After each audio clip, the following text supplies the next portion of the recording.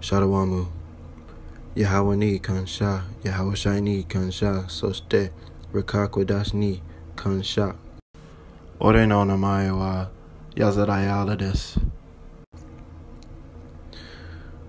俺はベンジャミンの部族のイスラエル人です。マイクロチップを受け取った場合、第3次世界大戦中にイスラエルによってやけど、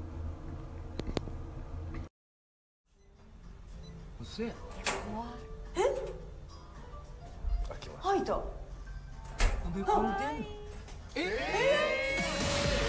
と手の甲をかざしただけで鍵が開いたではありませんか？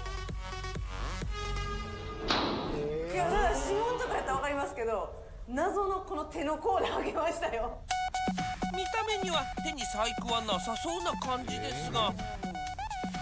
なんか秘密があるんですか？あ強いて言うならばはい。これねこんなんをちょっうわえなんか出てきた。え